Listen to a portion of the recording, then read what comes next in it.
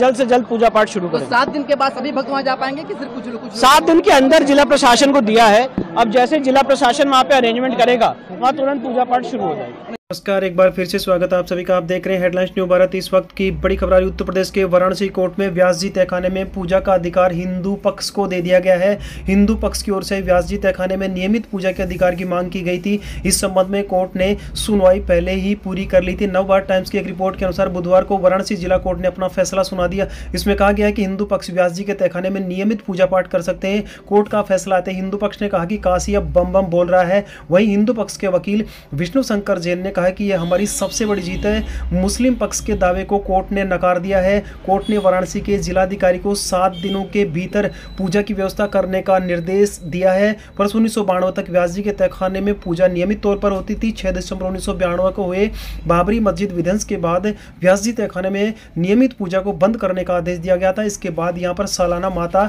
श्रृंगार गोरी की पूजा हो रही थी। वाराणसी परिसर स्थित व्यास जी के तहखाने में दोबारा पूजा की अनुमति देने संबंधी अर्जी पर मंगलवार को जिला जज में सुनवाई पूरी हो गई थी। जिला जज डॉक्टर अजय कृष्ण ने अपना आदेश सुरक्षित रख लिया था। बुधवार को इस संबंध में कोर्ट ने अपना आदेश सुनाया। वादी शैलेश व्यास के अनुसार उनके नाना सोमनाथ व्यास का परिवार उन्नीस तक तहखाने में नियमित पूजा पाठ करता था। वर्ष उन्नीस में तहखाने में पूजा पाठ बंद हो गई। वर्तमान में यह तहखाना अंजुमन इंतज़ार मसाजिद के पास है। तहखाना को डीएम की निगरानी में सौंपने के साथ वहाँ दोबारा पूजा पाठ शुरू करने की अनुमति मांगी गई थी।